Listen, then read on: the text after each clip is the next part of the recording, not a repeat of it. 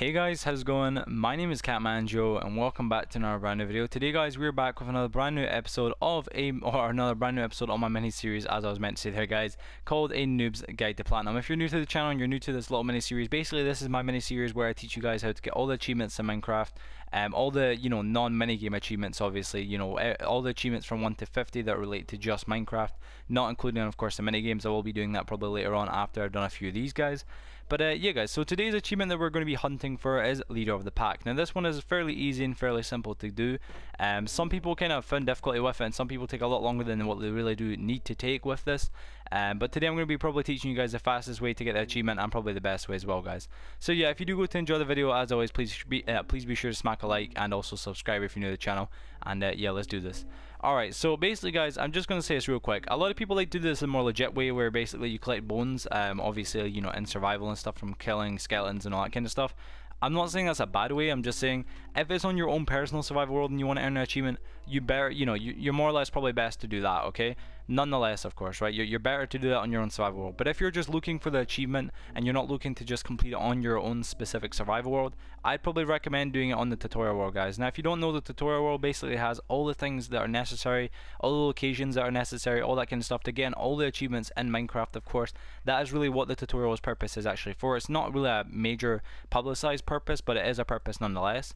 Um, as you can see here, I've got exactly 10 bones right here. This is more than enough to tame some wolves, which is what we're going to have to do, alright?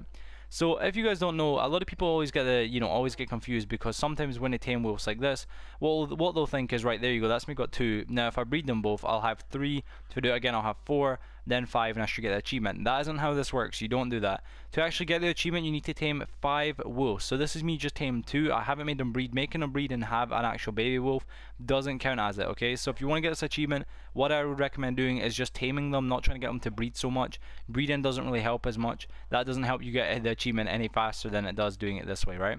Now, another little tip and trick I'd probably say, and I've noticed that this actually does work, at least it worked for me, was the idea of if you want to do this achievement, you don't actually have to befriend five wolves in the same game. You can actually have like, you know, multiple different games where you've, you know, befriended a few wolves, and it will still give you the achievement because nonetheless you still befriended a certain amount of wolves in total, like in general.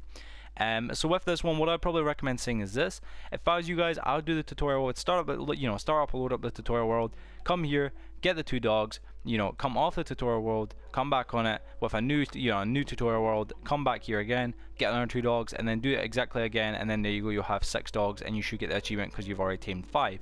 Um, that is my personal opinion. I'm just saying that's probably the best way to do it. Of course, you know, as you can see here, I've still got 8 bones, so I could easily just go out looking for wolves and, um, you know, obviously just go tame some more kind of thing, get some more dogs.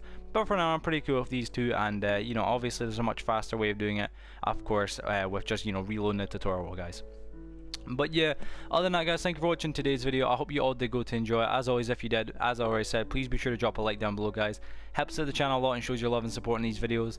Um, recently, you know, as I, I don't know if you guys don't know this, I don't know if my video's up yet, but basically I'm making a video soon, um, or I've already made a video speaking about what's going on right now, but basically I've got a bunch of pre-recorded videos, including this one itself, they're all being uploaded over the space of like, uh, you know, a month and stuff.